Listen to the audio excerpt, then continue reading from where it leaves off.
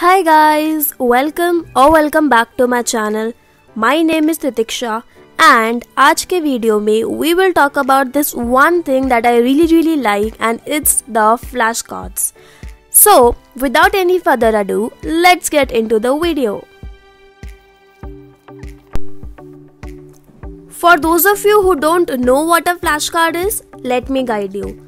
Flashcard is a double sided card wherein you write down the question that you need to memorize on one side of it and the answer to that question on the other side. I think flashcard is a very simple yet very very effective technique that helps us to utilize the time we do not normally study in, like walking just before going to bed or maybe eating. These are the times we cannot hold a book and study in those times these come very handy. To be honest, flashcards are more effective for revision rather than just rereading the highlighted text because here your brain is actually trying very hard to pull out all the information from its system rather than just simply recalling the text. Now how do we actually make a flashcard? So here I have some index cards that I got from Amazon and honestly they are pretty affordable but you can always use a blank sheet cut it into four halves and you are good to go. The next steps are pretty easy. Take your textbook or whatever question you need to write down, take an index card and then write the question on one side. Here I'm writing a section number that I need to remember for my exam. Okay, now on the other side of the card you have to write down the answer. But but but सीधा book से छापना नहीं है। You have to write as short as possible use key words but make sure you do not miss the crux as it is paragraph छाप के अगर आप लिख रहे हो कार्ड में it will make no sense write as many few words as possible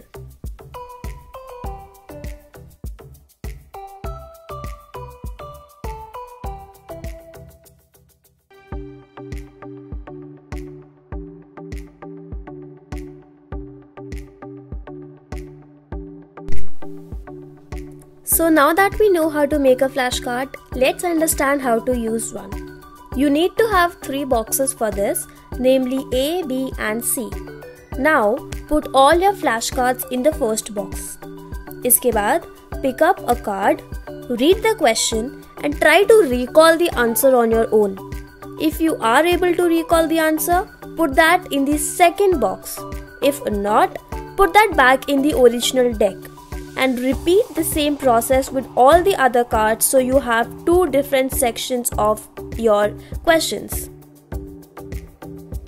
Now box A are those flashcards which you do not really know very well and you need to revise them multiple times while box B has cards that you know pretty well.